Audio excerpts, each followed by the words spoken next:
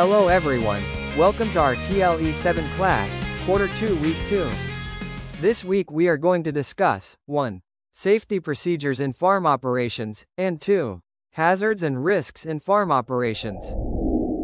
Now this time, we're going to do an interactive activity to help us learn some important vocabulary related to different professions. I have a list of words here, and I will ask some of you to come up to the board and locate them. Yes, very good. We have agriculture.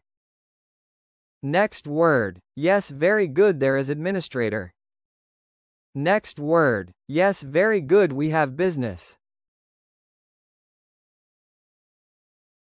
Next word. Yes, very good. We have career.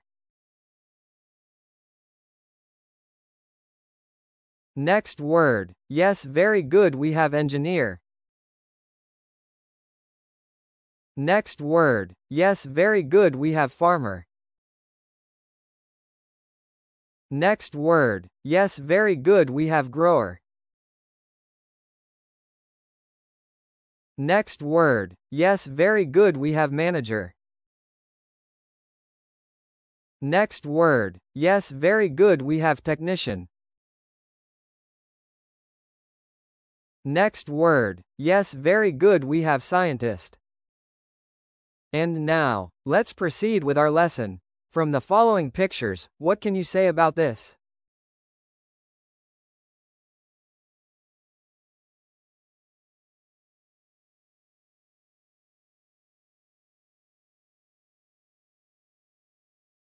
For unlocking content vocabulary, which among the three important words do you think most valuable for us to maintain? Why? Explain in three to five sentences your response. 1. Hazard. 2. Risk. 3. Safety. Next we have 1. Accident. It is an unexpected and unfortunate incident that occurs accidentally and causes hurt, damage, or injury. 2. Agricultural chemicals. These are chemical agents that are used to control crop-harming organisms, like fungi, nematodes, mites, insects, and rodents or viruses, in the farm such as fungicides and insecticides. 3. Cleaning. It is the act or process of removing dirt from tools, containers and farm facilities. 4. Chemicals. It means the interaction between substances. It can be in the form of liquid, solid or gas. It can be from any pure substance or a mixture of different substances. 5. Disinfection chemicals. It refers to the chemical used in cleaning which has the ability to kill microorganisms especially pathogens. 6. Hazard. It can potentially harm or injure workers. In any workplace, hazard exists. 7. Over fatigue. Improper posture while harvesting the crops, and using unguarded machineries are some of the common hazards. 8. Incident. It refers to any remarkable or interesting event or occurrence, whether intentional or unintended. 9. Near miss. It refers to an unanticipated event that almost harms persons or property but does not cause any injury or damage. 10. Occupational safety. These are safe practices related to production and work process in the workplace. 11. Safety. It is the physical or environmental conditions of work which comply with the prescribed occupational health safety OS, standards and which allow the workers to perform his or her job without or within acceptable exposure to hazards. 12. Safety measures. It is an action or procedure that is designed to lower the occurrence or risk of injury, loss and danger to persons, property or the environment. 13. Risk. It is a situation involving exposure to danger, injury or loss. 14. Unsafe acts. These are activities or behaviors that depart from established safety norms, such as disobeying safety guidelines or failing to properly employ personal protection equipment. 15. Unsafe conditions. It include physical aspects within the workplace that have the potential to cause harm, such as poor housekeeping, insufficient lighting or ventilation, malfunctioning equipment, or inappropriate handling of hazardous products. On our yesterday's lesson, we studied about the different careers and job opportunities related to agriculture. Based on the photos that were presented a while ago, what do you think will be our lesson focus for today? Now, let's talk about the occupational safety when in the farm. Occupational safety when in the farm is a safety practices set by farm owners that involves production and work process of farm workers. Farmers should always take extra measures to ensure their safety while working in the farm. Now, what about the hazard and risk in the farm?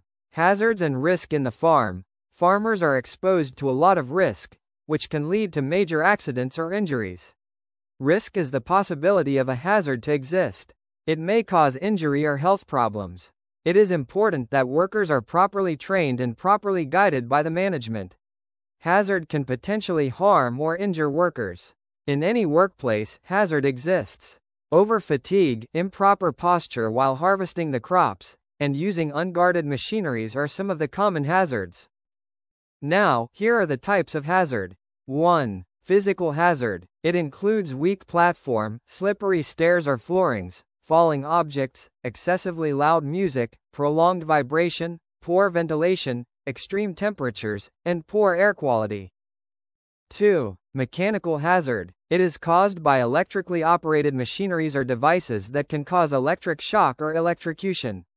Pressure vessels, tractors, and cranes are all used in farm operations.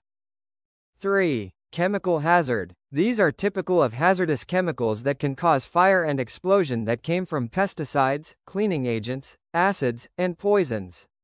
Exposure to certain chemicals or improper handling and use of those chemicals can cause acute or long-term adverse health effects. Main classifications of chemical hazards include asphyxiants, corrosives, irritants, sensitizers, carcinogens, mutagens, teratogens, reactants, and flammables. Long-term exposure to chemical hazards such as silica dust, engine exhausts, tobacco smoke, and lead may result to increased risk of heart disease, stroke, and high blood pressure. Use of protective personal equipment, PPE, is advised because it may reduce the risk of damage from contact with hazardous chemicals and materials.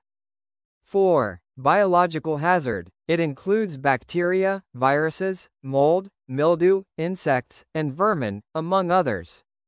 5. Psychosocial hazard. It is the stresses that farmers get from work, family, or even among friends. 6. Ergonomic hazard. It refers to any physical condition that can be experienced in the workplace due to incorrect body movements that can cause injury or other health concern that may affect musculoskeletal system causing aches and sprains that may appear not too serious at first but may develop into serious health problem which can cause permanent damage to the body. Now here are the chemicals and hazardous tools and equipment used for farm work. 1. Spraying chemicals. The use of fertilizers and pesticides are common in farming. These are used to control pests, weeds, and mollusks. Spraying is the most common method of applying chemicals. Farm owners consult local agriculturist for the appropriate chemicals to use in their crops. Here are some important things to remember when using chemical for the crops. 1. Do not attempt to spray if there is a strong wind and its direction is towards the body of water or a house. 2. Never wash the spray equipment with water running down into open drains or towards a dam. 3. Refrain from using used chemical containers. To reduce the risk of hazardous chemicals, do the following 1. Appropriate PPE must be used. 2. Store the chemicals in locked cabinets or storage area. 3. Know the first aid procedures. 4. Provide a list of hazardous chemicals used in the farm. Land preparation using heavy equipment and implements. The use of mechanical equipment for land preparation like tractor might involve risks such as a person being run over by it. The tractor also has the tendency to overturn, especially if it is running too fast, or the operator makes a sharp turn, sudden swerve, or sudden stop. Here are some things to remember when using heavy farm implements. 1. Do not use a tractor for transportation. It is not a passenger vehicle. 2. Use a seatbelt when driving a tractor.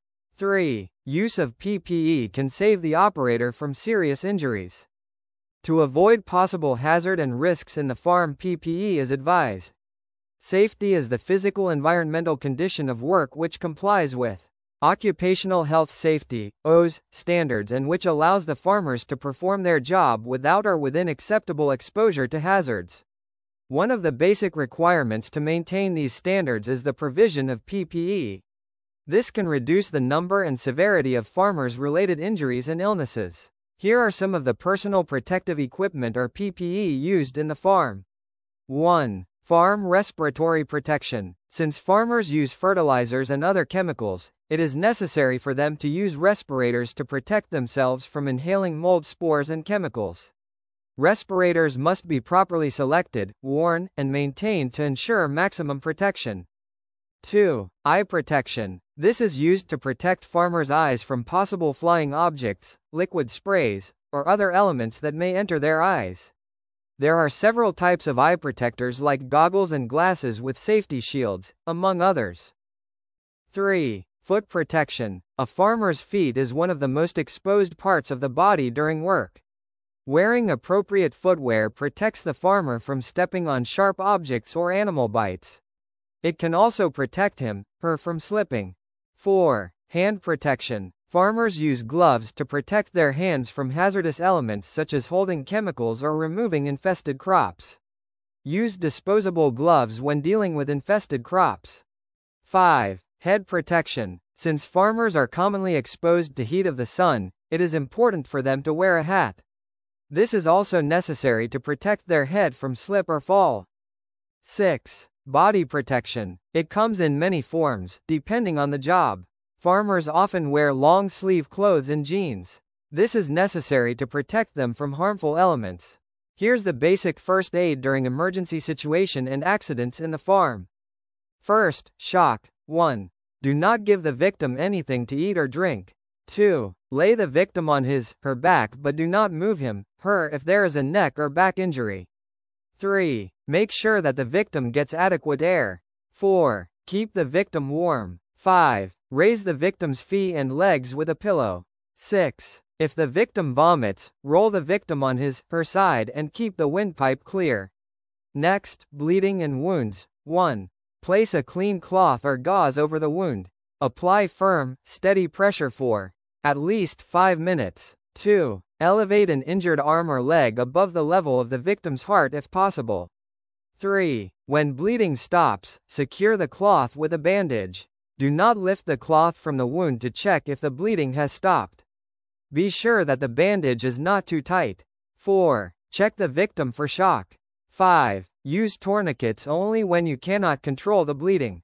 Next, chemical or compressed gas burns. 1. Use a drench hose, emergency shower, or eye wash for at least 15 minutes to rinse away all traces of chemicals while removing any contaminated clothing from the victim. 2. Cover the burn loosely with a clean, dry cloth or special burn dressing. 3. Check the victim for shock. Next, for heat or electric burn.